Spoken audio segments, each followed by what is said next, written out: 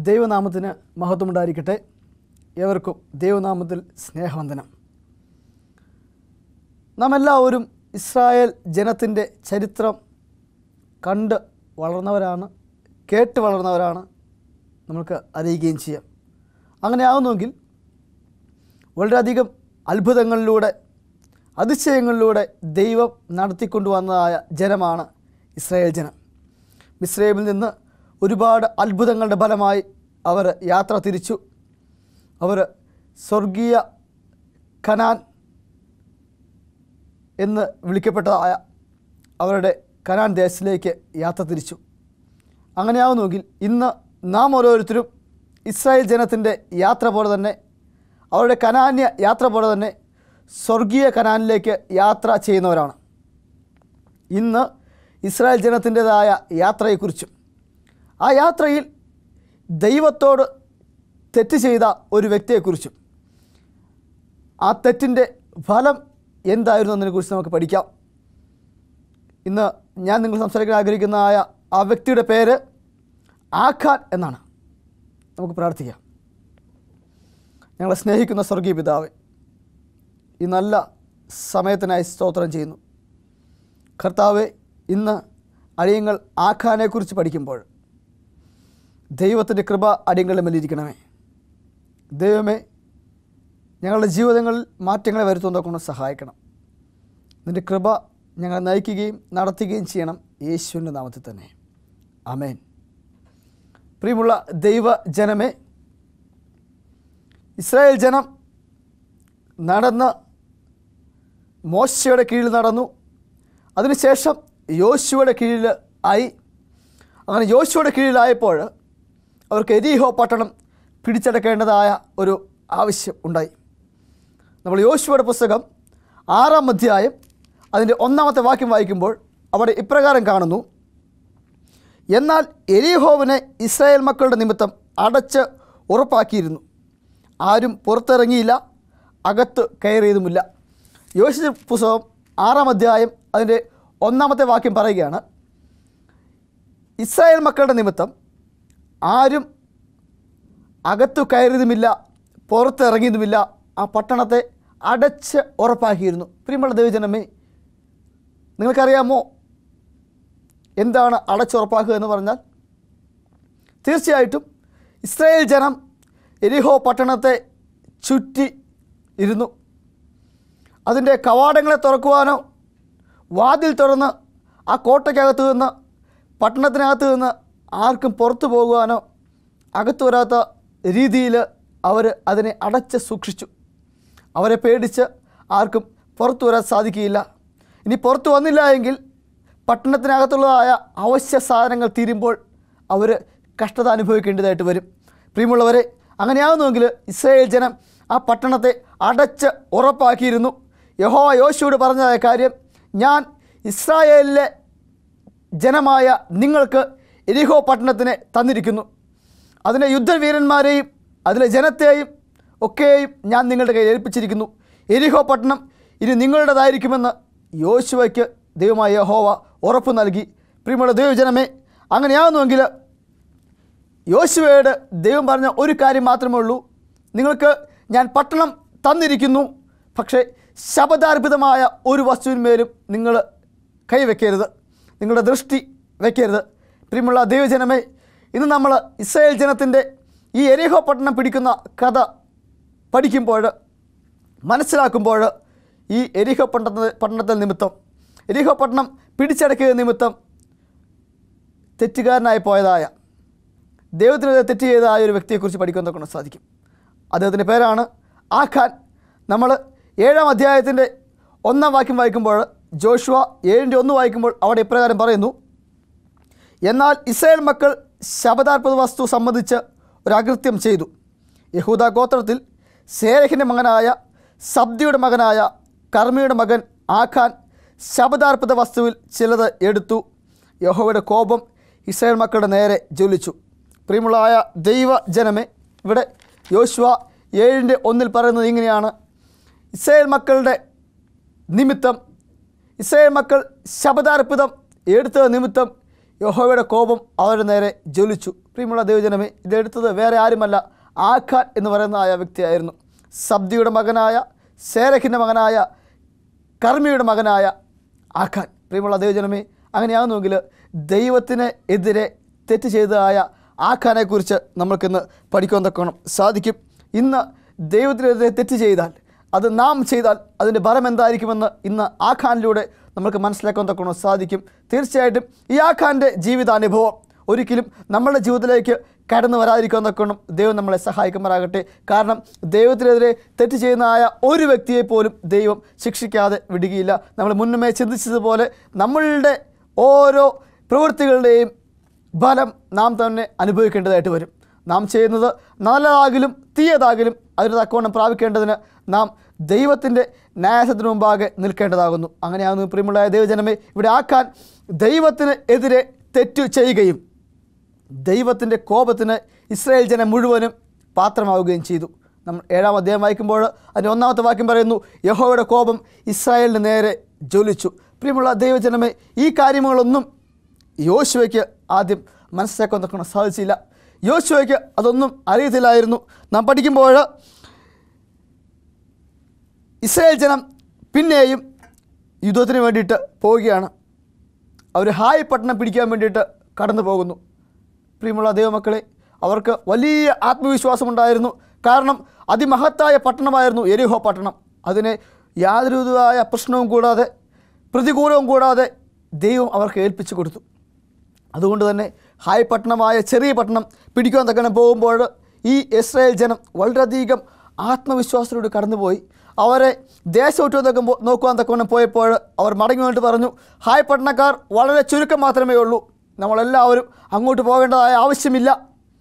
രണ്ടായിരമോ മൂവായിരമോ പേർ മാത്രം പോയാൽ മതിയെന്ന് അവർ പറയുകയുണ്ടായി. പ്രിയമുള്ള ദൈവജനമേ അങ്ങനെ ഈ ഇസ്രയേൽ ജനം ദൈവത്തിന്റെ സ്വന്തം ജനം വളരെയധികം ആത്മവിശ്വാസത്തോടുകൂടി വളരെയധികം ദൈവം തങ്ങൾക്ക് ആ പട്ടണം നൽകും എന്നുള്ള വിശ്വാസത്തോടുകൂടി ഹായ് പട്ടണം പിടിക്കുവാനായിട്ട് കടന്നു ചെന്നു.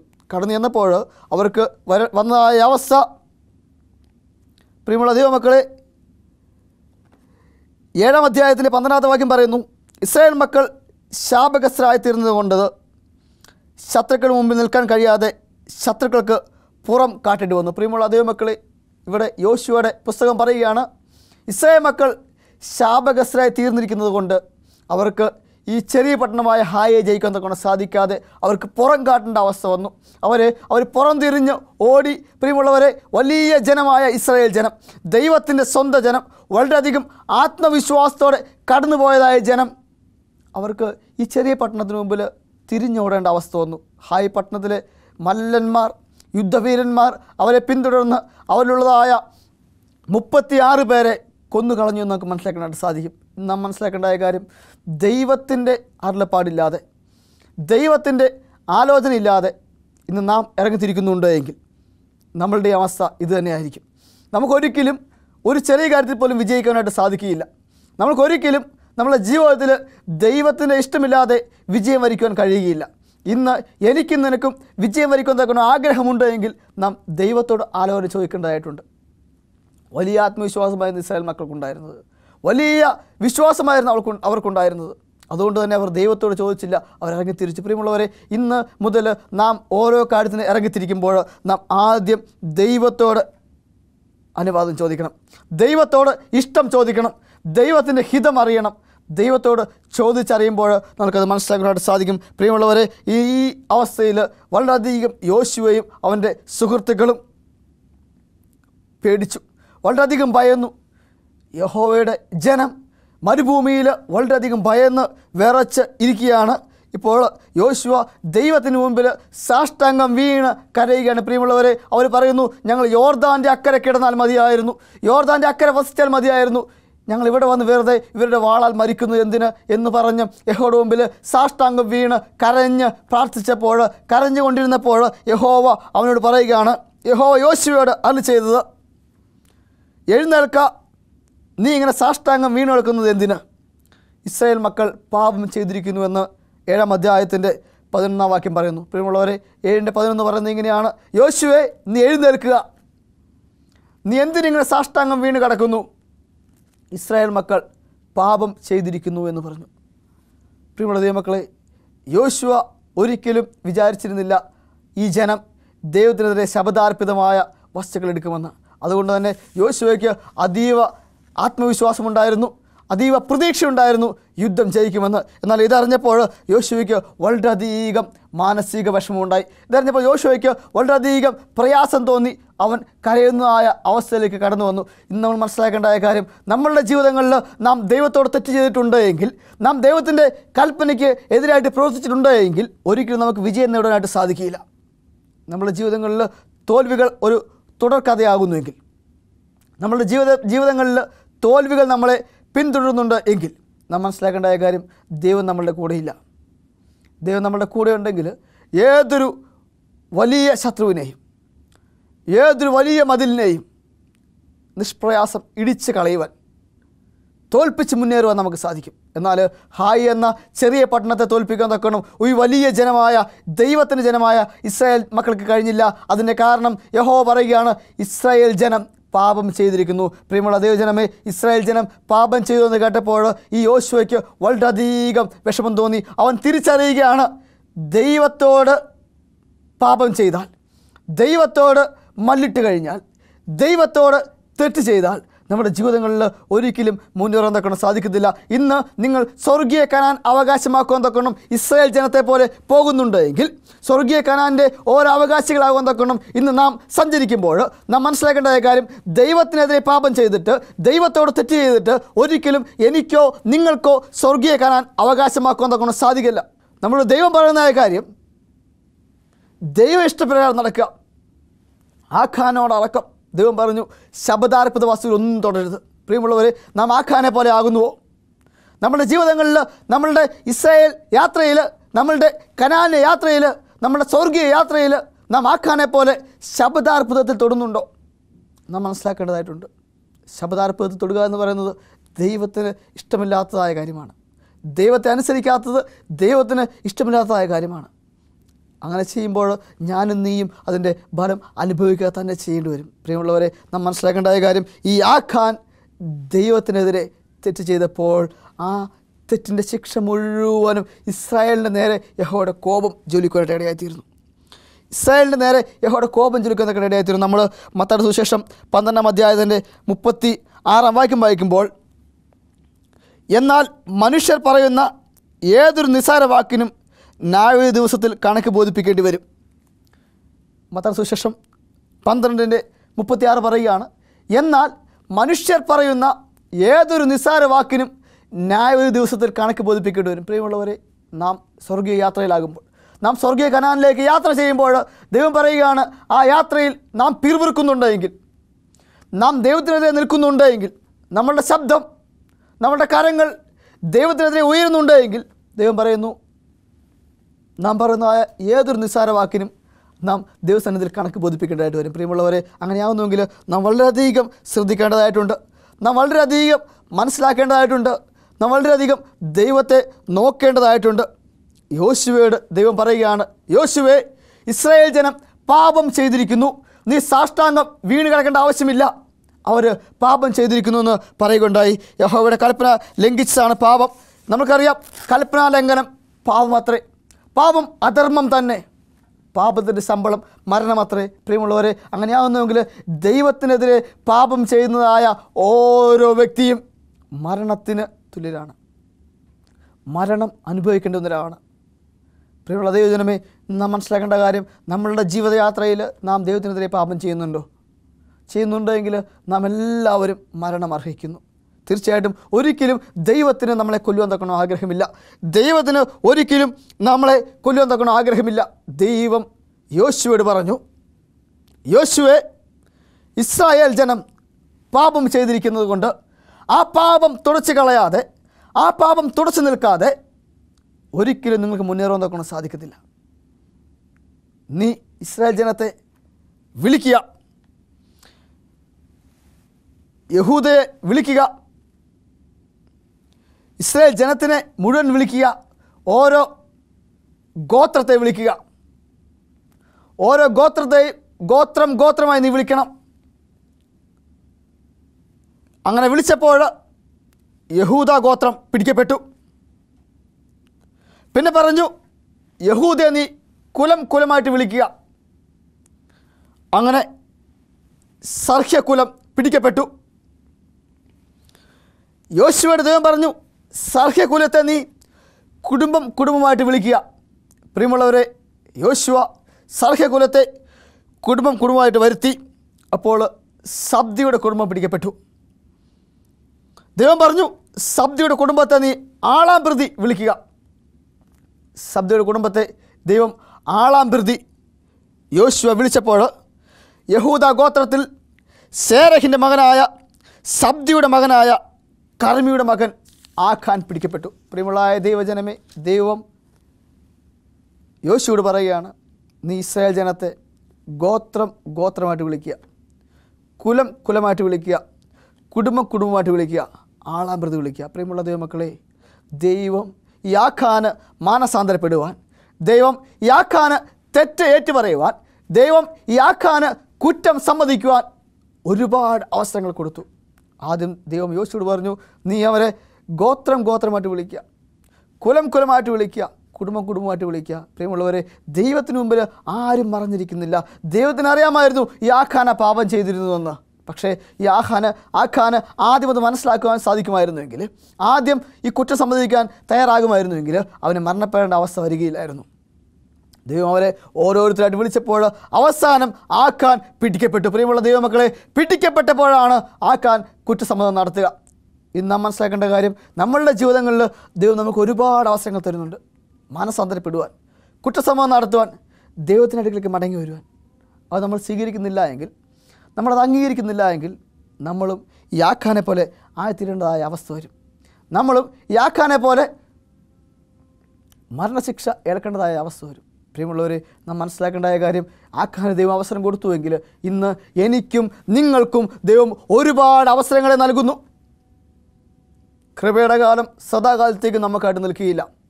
ദൈവത്തിന്റെ ആത്മാവ് സദാകാലത്തോളം നമ്മളുടെ വാദിച്ചുകൊണ്ടിരിക്കുകയുമില്ല. അതിനൊരു സമയമുണ്ട്. ദൈവം അതിനൊരു പരിധി വെച്ചിട്ടുണ്ട്. തീർച്ചയായിട്ടും ആ പരിധിക്കകത്ത് ഞാനും നീയും രക്ഷിക്കപ്പെടുവാൻ ദൈവം ആഗ്രഹിക്കുന്നു. അതുകൊണ്ട് ദൈവം നമുക്ക് ഒരുപാട് അവസരങ്ങളെ നൽകുന്നു. തീർച്ചയായിട്ടും ഇന്ന് എനിക്കും നിനക്കുമുള്ളതായ അവസരമാണ് മാനസാന്തരപ്പെടുവാൻ പാപമേറ്റ് പറയുവാൻ കുറ്റം സമ്മതിക്കുവാൻ. നമ്മളുടെ സ്വർഗീയ കനാന യാത്രയിൽ എന്റെ ഭാഗത്ത് നിന്റെ ഭാഗത്ത് കുറ്റങ്ങളുണ്ടെങ്കിൽ കുറവുകളുണ്ടെങ്കിൽ പ്രശ്നങ്ങളുണ്ടെങ്കിൽ ദൈവത്തോടേറ്റ് പറയുക. ദൈവം ക്ഷമിക്കും. ദൈവം സഹിക്കും. ദൈവം നമ്മളെ കൊല്ലുകയില്ല. ഇവിടെ ആഖാൻ അവസാന നിമിഷം അവന്റെ കുറ്റം ഏറ്റു പറഞ്ഞപ്പോൾ യോശു അവനോട് ചോദിച്ചു യോശു ആഖാനോട് മകനെ ഇസ്രായേലിന്റെ ദൈവമായ യഹോവയ്ക്ക് മഹത്വം കൊടുത്ത് അവനോട് ഏറ്റു പറയുക. നീ എന്തു ചെയ്തു എന്ന് പറയുക എന്ന് മറച്ചു വെക്കരുത് എന്ന് പറഞ്ഞു. പ്രിയമുള്ളവരെ ഏഴിന്റെ ഇരുപത് പറയുകയാണ് ആകാൻ യോശുവയോട് ഞാൻ ഇസ്രായേലിന്റെ ദൈവമായ യഹോവയുടെ പിഴച്ച് ഇന്നിന്നത് ചെയ്തിരിക്കുന്നു സത്യം. ഞാൻ കൊള്ളയുടെ കൂട്ടത്തിൽ വിശേഷമായൊരു ബാബുലോണ്യ മേലങ്കിയും ഇരുന്നൂറ് ശേക്കൽ വെള്ളിയും അമ്പത് ശേക്കൽ തൂക്കമുള്ള ഒരു പൊൻകട്ടിയും കണ്ട് മോഹിച്ച് എടുത്ത് അവന്റെ കൂടാരത്തിന്റെ നടുവിൽ നിലത്ത് കുഴിച്ചിട്ടിരിക്കുന്നു എന്ന് പറഞ്ഞു. പ്രിയമുള്ള ദൈവജനമേ ആഖാൻ പറയുകയാണ് ആഖാൻ യോശുവോട് കുറ്റസമയം നടത്തുകയാണ്.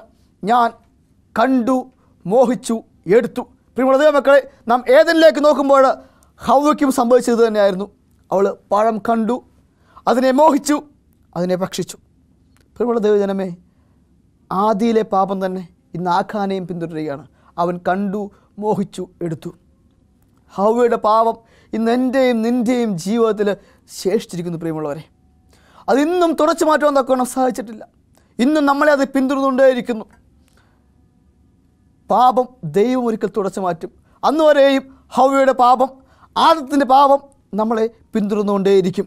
ആഖാനും പറയുകയാണ് ഞാൻ കണ്ടു മോഹിച്ചു എടുത്തു. പ്രിയമുള്ള ദൈവജനമേ അങ്ങനെയാകുന്നുവെങ്കിൽ ഇന്ന് എന്റെയും നിന്റെയും ജീവിതത്തിൽ നാം കാണുന്നത് നാം മോഹിക്കുന്നത് നാം എടുക്കുന്നത് ദൈവത്തിന് എതിരെയുള്ളതാകുന്നുവെങ്കിൽ ദൈവത്തിന് ഇഷ്ടമില്ലാത്തത് ആകുന്നുവെങ്കിൽ നാം മരണശിക്ഷ അനുഭവിക്കേണ്ടി വരും.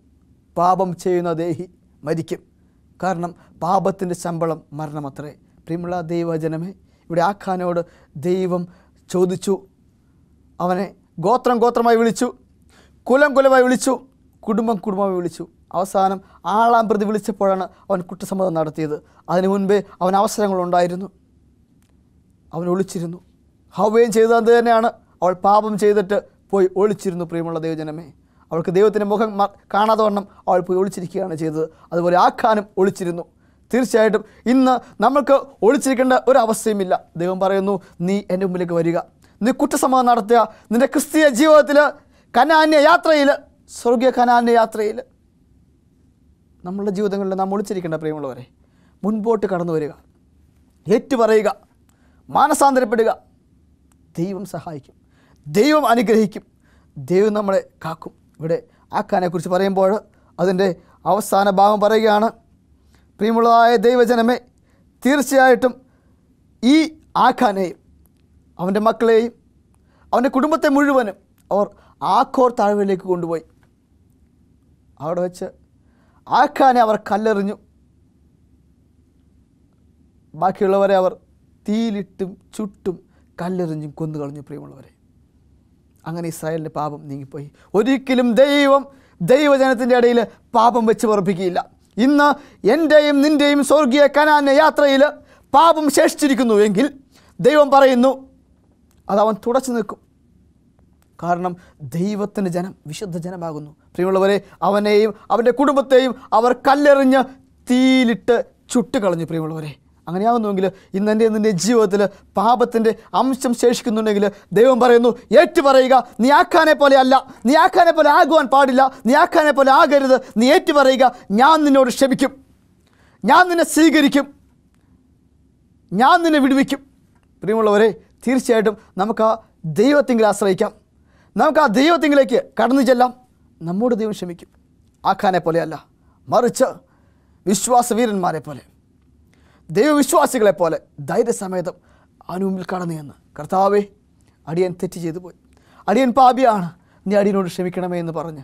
ദൈവം മുമ്പിൽ ഒരു വലിയ സ്ഥാനം മഹത്വത്തിന്റെ സ്ഥാനം നേടിയെടുക്കാൻ തക്കണം ദൈവം എന്നെയും നിന്നെയും സഹായിക്കുമാറാകട്ടെ. അതിനായിട്ട് നമ്മളുടെ ഹൃദയങ്ങളെ അനുദപിക്കുക. നമ്മളുടെ ഹൃദയങ്ങളെ മാനസാന്തത്തിലേക്ക് നയിക്കുക. ദൈവം നമ്മളെല്ലാവരും സഹായിക്കും. ആഖാനെ പോലെ അല്ല മറിച്ച് നാം എല്ലാവരും വിശ്വാസ വീരന്മാരുടെ പട്ടികയിൽ ഇടം പിടിക്കാൻ തക്കണം ദൈവം നമ്മളെ സഹായിക്കുകയും അനുഗ്രഹിക്കുകയും ചെയ്യുമാറാകട്ടെ നമുക്ക് പ്രാർത്ഥിക്കാം. ഞങ്ങളെ സ്നേഹിക്കുന്ന സ്വർഗീയ പിതാവേ ഈ നല്ല സമയത്തിനായി സ്തോത്രം. അടിയങ്ങൾ ആക്കാനെ പോലെ അല്ല മറിച്ച് എന്റെ ദൈവത്തിന്റെ സന്നിധിയിൽ കുറ്റസമ്മതം നടത്തുന്നവരായിട്ട് മാനസാന്തരമുള്ളവരായിട്ട് കാണപ്പെടുവാൻ തൊക്കെ സഹായിക്കണമേ. അതിനായിട്ട് അടിയങ്ങളുടെ ജീവിതങ്ങളെ നീ അങ്ങ് ഒരുക്കണം. നീ അടിയങ്ങളെ അങ്ങ് സഹായിക്കണമേ. അടിയങ്ങളുടെ പാപങ്ങളെ നീ അങ്ങ് മായ്ക്കണമേ. നീ അടിയങ്ങളെ സ്നേഹിച്ചിരിക്കൊണ്ട് സ്തോത്രം. അനുഗ്രഹിച്ചിരിക്കൊണ്ട് സ്തോത്രം. അടിയങ്ങളെ വഴി നടത്തുന്ന കൃപക്കായി സ്തോത്രം. യേശുവിന്റെ നാമത്തിൽ തന്നെ. അമേൻ